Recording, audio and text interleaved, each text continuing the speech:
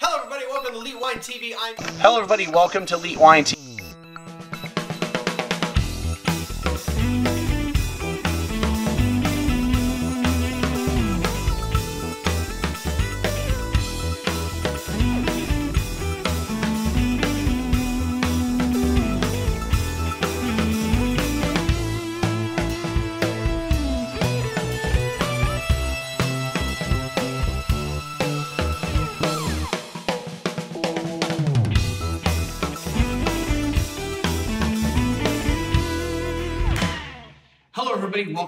Wine TV. I'm your host, Mark Fusco, here for another edition of the show. I've got Silouan, right? Someone. Or Sil Bradford from St. Trifon, not Trifon, uh, winery here. Uh, we're kind of between Sisterdale and Boerne. seven Um, miles north of Boerne, about five miles south of uh, uh, Sisterdale. Yeah. So we're out here in the Hill Country, Texas. Um, Sil, had- Sil and I have been following each other for about a year or so on social media, and I got to meet him at the uh, the uh, Hill Country Wine Symposium a few weeks ago.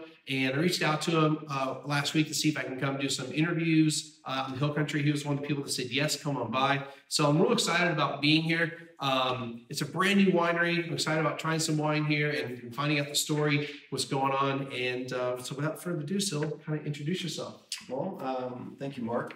Um, uh, as you said, my name is uh, Silouan Bradford. Um, I'm the owner and winemaker of St. Tryphon Farm and Vineyards. As Mark said, we're a very new winery. Opened up, actually, it'll be one year. Uh, tomorrow is our one year anniversary. We opened up on the feast day of St. Tryphon. Uh, St. Tryphon is the patron saint of grape growers and gardeners, hunters, and horses. Um, we are avid fans of all those things, most notably wine and horses. Okay. Um, and in naming our winery, we wanted to honor uh, something besides ourselves with our name. Um, so um, we uh, we launched a year ago, and um, it's it's been uh, a fantastic first year.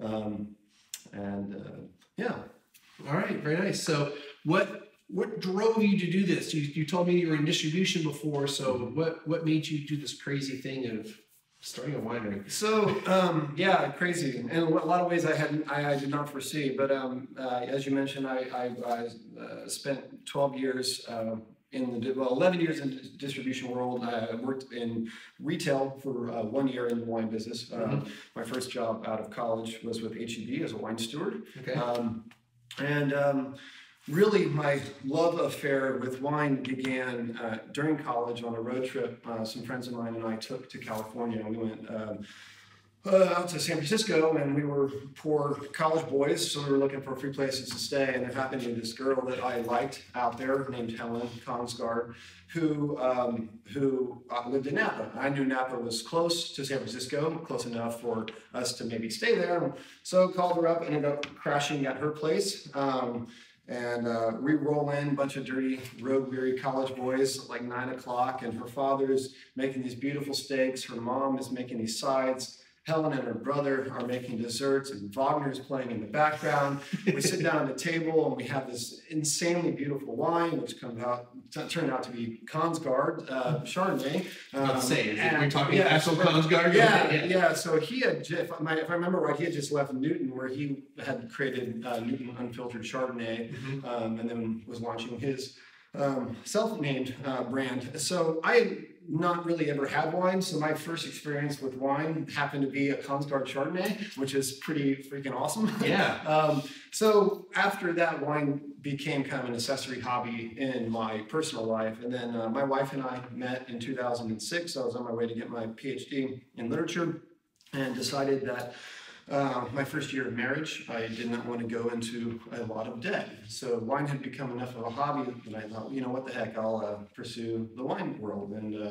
got into wine. And wine hit on enough intellectual aspects to keep it really fascinating for me. It's art, it's science, it's new every year. Um, and I've always loved to garden and loved to farm. And so um, once I was in, I was bit by, by it, and uh, I've been in it ever since. So uh, I was in retail, as I mentioned, for a year, roughly a year and a half, uh, followed by uh, fine wine uh, sales and then uh, management.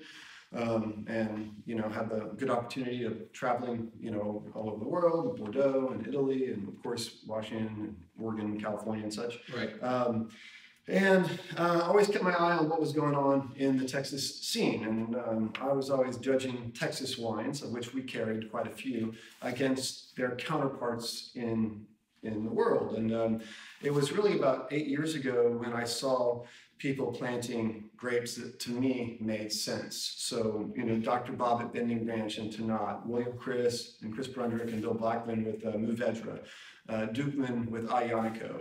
When that started happening, I'm like, well, this is what we should be doing. I mean, looking at it as a wine guy, not as a particularly a Texas wine consumer, but as Right. a wine guy thinking to himself, if we were to do this on a real global level and really make wines that compete globally, should we be doing Cabernet and Merlot and Sauvignon Blanc and Chardonnay and Pinot Noir, or should we be focused on Mour- Mourvedre and Tannat and et cetera? And so when I saw that happen and then got to know some of the growers up in the High Plains, um, I really saw how serious um, uh, the Texas wine scene was becoming um, and wanted to be a part of it. Um, so uh, in 2013, my wife and I purchased this property. Uh, didn't look anything like it looks now. Um, I took cuttings from a friend's vineyard in um, uh, 14 and 15, Lewis Dickson of La Cruz de Comal. Uh, so all my Blanc de Bois up front are cuttings from his vineyard, and then uh, Black Spanish in the back are all cuttings from his vineyard as well. Um, and then we uh, ripped the field in 16, high fenced in 16, uh, started making great purchases from the high plains in 16 so that we could start making wine in 16 so that we could open up February of last year. Yeah. Well, yeah, because you know you, you got to start making wine at some point. There's a, yeah, and that's kind of an important part of this whole thing, isn't it? Yeah, you said that you actually got a harvest out of the vineyards here on the property last year. Yeah, so we, in 2018, we got our first harvest. Very Okay. small um, harvest, but uh, we made a sparkling wine, uh, which will go to just the wine club only. Uh, Okay. Such a small harvest. And then with- the Black Spanish, um, it will, we're gonna do a multi-vintage, so non-vintage uh, port project. It's, it's stellar right now. I'm super happy with it. But again, small first harvest, so Okay. uh, that'll that'll be a number of years before that's released. Okay. Um, so uh, while I was uh, hanging out, because I got here kind of early, um, so I was taking as much of a look at the vineyards as I could from the car. Um, what type of vineyard practices are you doing? I saw some cover crop in there. So are you trying to do some types of sustainable uh, type of thing, or? Yeah. I know it can be a challenge here in the hill country with trying to do anything organic or biodynamic. Sure. Um, So um, yes and no. I mean, we, I would definitely feel comfortable using the word sustainable. I wouldn't be comfortable using the word organic. mhm. Uh, you know, our spray protocol, which you know we implement once, but we have bud break in early part of the season. You know, is primarily sulfur, copper sulfate, uh, stylet oil. Um, those have been our primary uh, tools um, in our kit to to keep uh, downy mildew, powdery mildew uh, at, at bay. Um, uh, we do aggressively cover crop. Uh, right now, we've got um, uh, cover crop of oats and ryegrass and Okay. some radishes. Um, radishes are fantastic at opening the soil up. Um, um, so we have uh, used some synthetic uh, sprays if, if needed. Um, most notably, um, we have a lot of Bermuda grass in the vineyard. Okay. And uh, since the vines are so young, Bermuda grass propagates both above ground by seed and underground by rhizome. And uh, every time you dig up a little Bermuda grass, you're basically planting another seed. So you're propagating it. So our first year, we sprayed nothing uh, and we hand hoed, hand weeded, weed eated, um, and, you know, basically turned out that we were making a bad problem worse by uh, you know doing this organically. So we've made a couple adjustments there. Our goal is to get that under control so that we can um, move back to that. But um, to use the word sustainable, hand weeding, hand hoeing, and weed eight times a year was not sustainable. Uh, You know, you got horses. Are you using the horse to, to plow? No, No, not yet. I Not that mean, crazy? No, I mean it's it's kind of there, and we want to we want to um, add uh, a sheep component, but Okay. again, we've we've pl- so we planted most of the vineyard in 16. We had to supplement some vines in uh, 17, and there's going to be a little bit more to fill in some holes in 18, or I'm sorry, 19. Uh, and so once the vines are the size where we can utilize sheep, we want to uh, use that as a protocol. We're called St. Tryphon Farm and Vineyards because our goal is to look at this entire property and project really as a um, a holistic entity. Okay. So, you know, between the chickens and ducks and sheep and horses, I mean, we compost all the horse manure. We spread that every uh, two years uh, in the vineyard. Um, and, and so as we grow, our goal is to just more and more achieve kind of the vision that Farm and Vineyards puts out there for Okay. us. So then why did you choose the two grapes you chose to grow here? Is that they're better suited for the hill country for your specific climate here? Um, well, there is some natural um, tolerance and resistance to some of the mildews that, you know, it's it's not as humid here in the hill country as it is in Houston, but Mhm. 40, 50, 60% humidity is humid to a grape. You Yeah. know, it's not as humid to us, uh, but to a grape, that's pretty pretty humid. And so we do fight uh, with those. But most the main reason why we planted um, uh, Black Spanish and Blanc de Bois was because um, they're resistant naturally to Pierce's disease, Okay. which is a s- a, so- a soil-borne uh, pathogen that's uh, carried by the glassy-winged sharpshooter that uh, can decimate a vineyard in no short order unless you're using um, certain chemicals that are systemic. Right. And being that our fundamental goal is to be as sustainable and as organic and as clean as possible, our starting point was to use varietals that didn't have to be on life support, basically. Okay. Um, Yeah, I was talking with um, what was what was his name? And he has the he has the winery out by Seguin. Um, Blue? No.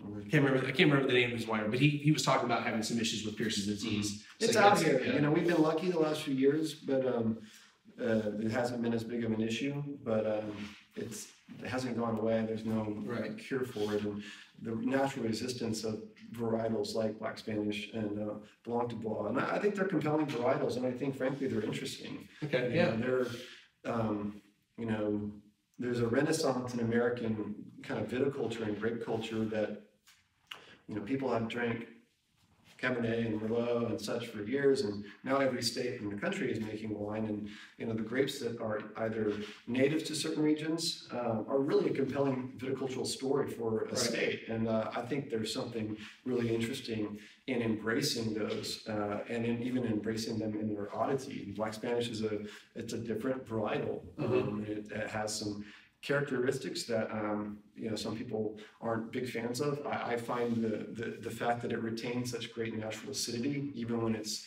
really hot, um, is one of its fantastic fantastic selling points. Because in the hill country, we have a hard time um, uh, achieving ripeness and maintaining natural acidity in, Yeah. in the grapes. And Black Spanish does a really great job of that naturally. Okay.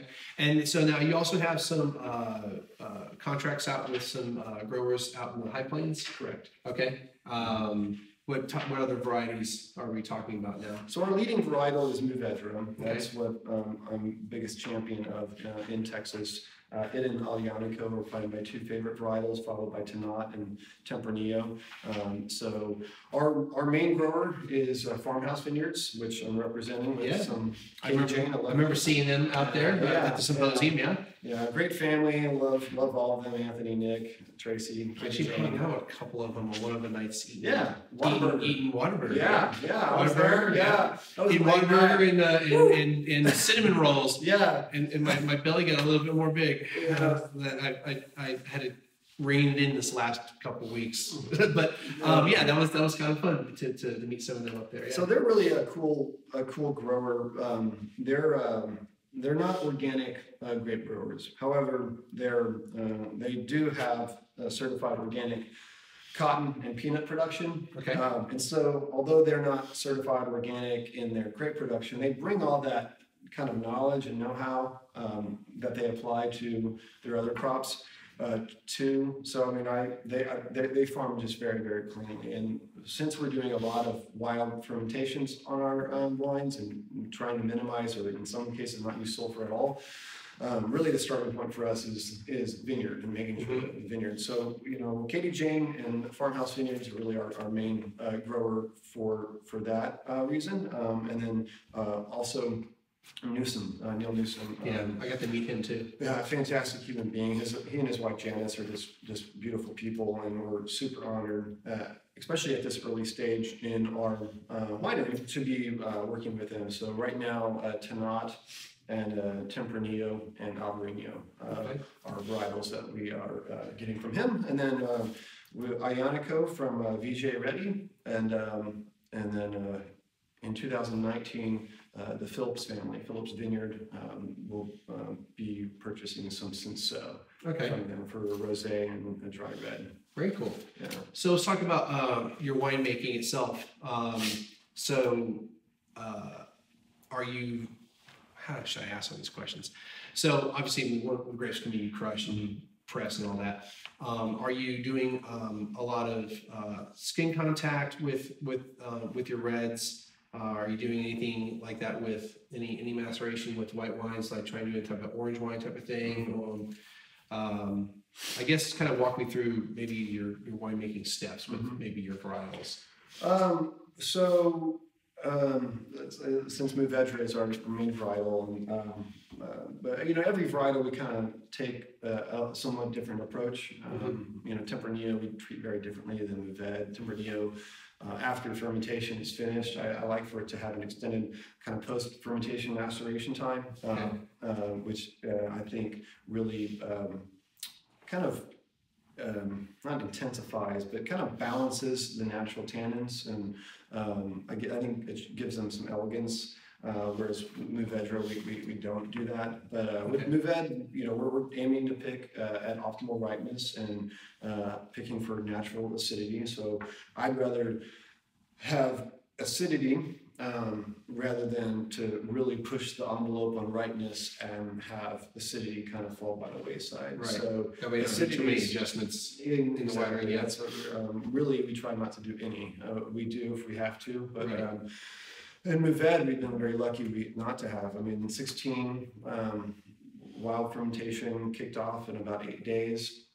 Uh, it was a, a, slow pool fermentation, open top, um, ferm- fermenting, uh, uh, containers. Um, uh, and uh, fermentation uh, took about three weeks to, to go completely dry. We um, in 16 we didn't even inoculate malo, which is kind of risky. And in 17 and 18 we have inoculated malo, so we're you know letting it feral ferment or wild ferment uh, uh, on its for primary fermentation, but for malolactic fermentation we're uh, inoculating. Uh, Okay, uh, and that's just it's safer and just make sure it actually goes through that Right. process and there's nothing wrong with it. no, no, no. I, I, um, yeah, I certainly don't put myself in like the natural winemaking category.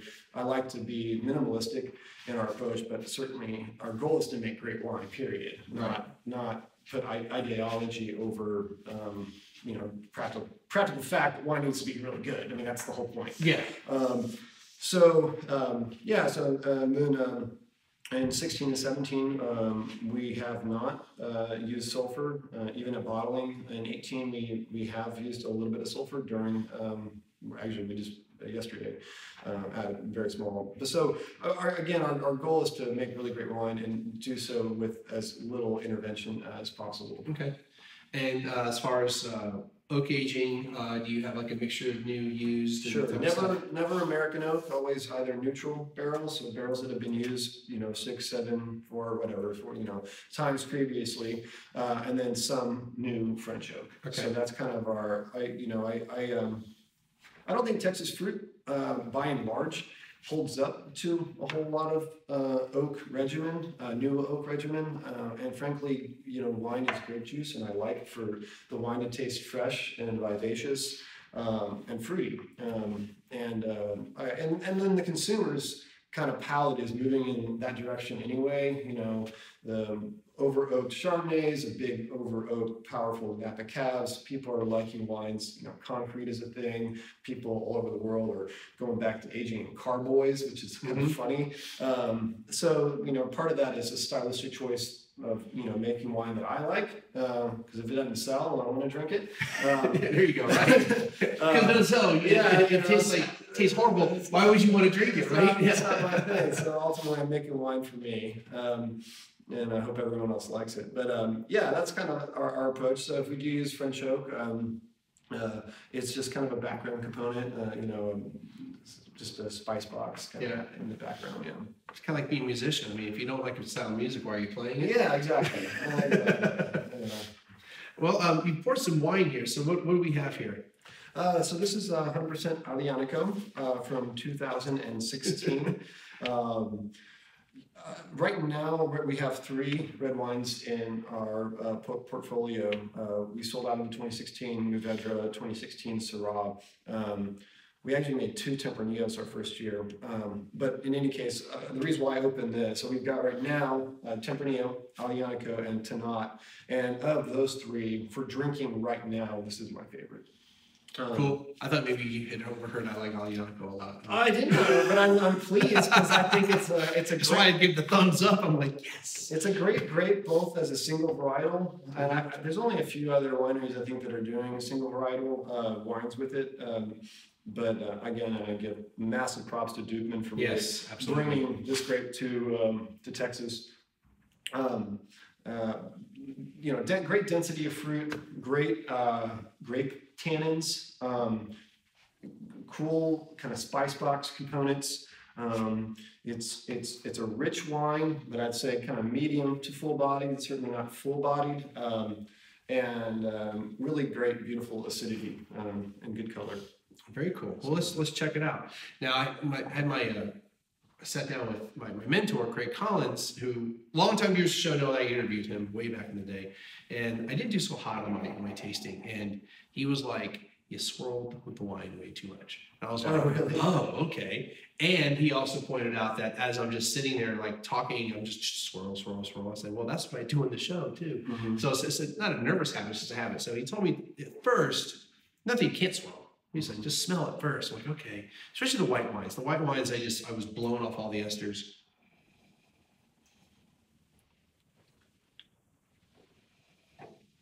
So I really like, uh, you got some really nice red fruit. So yes, wishing is probably not a good idea. Well, yeah, I mean, you can. Absolutely, you need to. no, I mean when being mic'd, I just Oh, yeah. I just thought about that. Oh, I I I swish, swirl, and slurp, and they, they hear it all, so it's okay. But some really nice red fruit on here.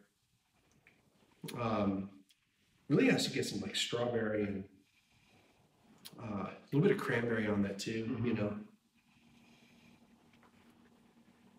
And you know, you don't there's not a a ton of oak coming through, which is great. You know, there's there's a there's a little bit of that, a touch of vanilla, a touch of the Sure, but it's kind of there. It's not It's a nuanced kind of background component, certainly not overwhelming.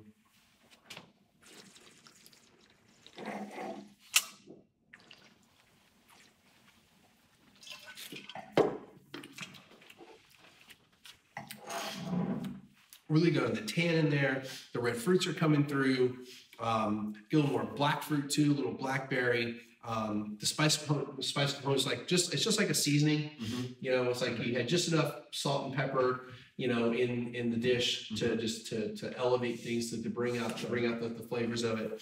Um, you know, and definitely some good tannin on this. I mean, you not that not that I would never crush a bottle without food, but this is definitely something that you want to have something uh, And that's I, something with you know. I, that's really um, I would say another thing about most of our wines is that they're really meant to be picking for acidity mainly, and um, they're they're fantastic uh, in relationship to to food.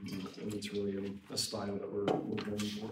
Yeah, a really good charcuterie, um, or just if you want to just want to go down the path, some some great pasta, some great Italian food, great ribeye, um, that type of stuff. You know, that that will help. I mean, the acid's there, the tannins there, especially with the tannin.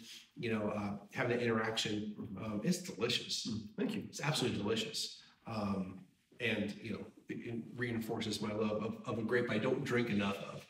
Uh, And I think the style of Aglianico here in Texas and um, versus uh, its homeland in Campania, Basilicata, and, and Puglia, um, I think it's um, it's you know we're not growing this on the volcanic soils that it's largely grown there in Right. Italy, um, and so I think we had it's a it's a very different and I think more approachable in its youth here in Texas, whereas the wines of Aglianico del Vulture and, and, and such in in Italy, man, they can be hard Yes. for a while. I mean, it's called the Barolo of the South for a reason um, in, in Italy because it, it can be challenging to, you know, be graceful in its youth. But I think here in Texas, the wines, um, I mean, I think this is very open texture and very lovely and very fresh right now. right? Yeah, we you don't need to lay it down for ten years No. to, to make a drink of it. Right.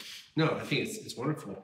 Uh, what's what's the retail on this here? At 36. 36 that's a good price you know um, that, that's nice i like that. Um, yeah. I'm trying to think if there's anything else i really want to ask you about. I mean we talked about your winemaking talked about the vineyards talked about the history. Um, wow. And, and i know you have an appointment here pretty soon. I do, I do, but if there's anything else, I'm, I'm here. um, is there anything that you think we should talk about? Like you we haven't mentioned that that you really want to Um, well, uh, you know, I always like, I do like to tell the story of Saint Tryphon. Yeah, we have, yeah, we just kind of just briefly mentioned yeah, that. So I mean, I, I mentioned he's the patron saint of grape growers and gardeners, hunters and horses. Yeah. He's a third century um, Christian uh, martyr, martyred um, under Emperor Decius when he was the ripe old age of 16. Oh my Um, goodness. he was known from his youth as being able to heal both people and animals. And so back in the day, he was called unmercenary healer or someone who was a doctor basically for free, uh, didn't charge people. Uh, known to have sent back plagues of locusts and other, you know, pests from fields um, and vineyards, thus his tie to agriculture. Um, and he was a tender of geese. And that's kind of all that's known about the Saint Tryphon. Um, Okay. and then that's again third century. And then you flash forward to the time of Ivan the Terrible in Russia, and there's a Trifon who's named after Saint Tryphon. So his patron saint is Saint Tryphon. And um, this Trifon was uh, Ivan the Terrible's hunting lackey. And they're out on a hunt one day, and Ivan loses his best hunting falcon, and of course doesn't blame it on himself, but blames it on Saint or blames it on Trifon, Okay. and uh, uh, tells Trifon that um, unless he finds his best falcon in three days, he's going to be uh, executed. Uh, That's terrible. Yeah, pretty Ivan. good. And, uh, Sorry. So uh, three days go by, or two days, something like that, and uh, Trifon has no success. Uh, he falls on his knees outside of some Russian forest and implores his patron saint, Saint Tryphon, please help me find this bird. I don't want to die. Um, Tryphon appears to him in a vision on horseback with the falcon in his hand. Hmm. Uh, says upon waking, you'll uh, you'll find this um, this bird in an adjacent pine tree. It happens as such. He returns the uh, bird to Ivan. His life is saved. And uh, so those two stories have kind of emerged historically. Uh, I don't know if you could turn the camera to see the painting of Saint Tryphon, but um, I'll get some pictures of it. Okay, Yeah, we'll, we'll throw um, we'll throw it into the video. Yeah. so Saint Tryphon is often depicted on horseback. Okay. has a 16 year old, but with a bird in hand. Okay. Sometimes a falcon, sometimes um, a dove. Um, and uh, so when we picked the name, then the next step was obviously to, to design a label and, and such. And uh, so we commissioned a, a friend of ours, a really famous artist in Southern California. She's ethnic Korean, raised in Japan. Her name is Remy Yang. We commissioned her to do a painting of Saint Tryphon. Um, and she ended up doing three paintings because she loved the project so much. And then we got to pick the one that we liked the, the most, which is this painting, which I'll show uh, your, your viewers. Uh, and then that's where our, our label and our logo, of the bird in hand Okay. uh, image comes from, which you see all over our media. Very cool. Yeah. Very cool.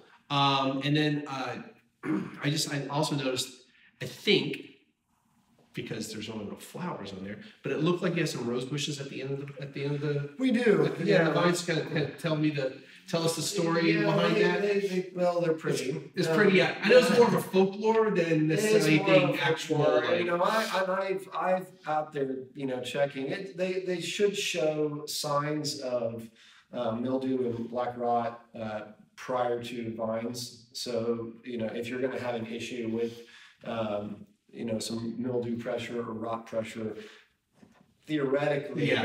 uh, the great the the rose bushes will show it um, prior. Um, but in reality, I haven't seen that to be necessarily true. Maybe I'm not looking closely enough. I don't know, but um, uh, they're also just aesthetically nice. so. Yeah. When we were we were hanging out there, I was telling you know, Dad's over there by the way. Um, I was, I was like, I was one of those vineyards, like, you know, I don't know if he's pruned and all that stuff and blah blah blah. Cause I don't know. I, I can't look at vineyards at this at this. Well, I can't look at vineyards really at any point in time in the season to know exactly what's going on. I mean, other than there's leaves and there's variation may have happened, but Mhm. like this time of year, I don't really visit Mm-hmm. any wineries. At least I don't go in the vineyard. Sure. Um, but I was like, so he's got some cover crop and he's got this. I said, looks like it's rose bushes. I said, you remember that? He goes, what is that for? I said, well, I didn't remember the exact. I just knew something about disease. And, mm-hmm. and I said, you remember we saw that in California? He goes, no. And I explained it. He goes, oh yeah, I kind of remember that. I said, that doesn't look pretty. Yeah. that's what, that's what, they, I think it was at Plump Jack. I asked them, I asked them at Plump Jack and he said, he gave me like basically the same thing. It was like, they're, they're really just esthetics mm-hmm. you know, I mean, yeah, they have some, they have some purpose, but, you know, in case somebody comes up here, then they can see that you've had that, so I wanted to, like, you know, have a Sure. little. Yeah, so we pre-pruned, we, we did a, a preliminary pruning in, um, December. Uh, Okay. And that's just to get rid of kind of the, you know, vines are super aggressive and, you know, you can have shoots out there that are twelve feet long. So we pre-pruned just to kind of get everything back into the trellis wires and Mhm. and more manageable. And then we'll do a final pruning here, uh, probably starting in about a month. Okay, Uh, yeah, and, you know, we'll- you know, we don't want to touch anything right now because with these relatively warmer temperatures. Yeah, we were talking about that, yeah. That will exacerbate or really, um, it'll, it, it pushes the plant forward in its, its desire to, to get going for the season. And Right, You don't want that right now because we've got uh, February, March and half of April to get through before, uh, you know, right, you don't wanna have anything starting too early, because then you, it, it, it introduces a whole bunch of new set of problems you don't wanna deal with, so you get a frost or anything like that. Um, you know, we don't want Chicago weather right now, which, see, so this, this episode is gonna come out about a month from now, because I've got two, I've got, I've got, yeah, uh, got uh, Sergio's interview, cocktail conference, and then two interviews. So yeah, so by the time you all see this, it'll be it will be February. Um, but yeah, we don't want yeah.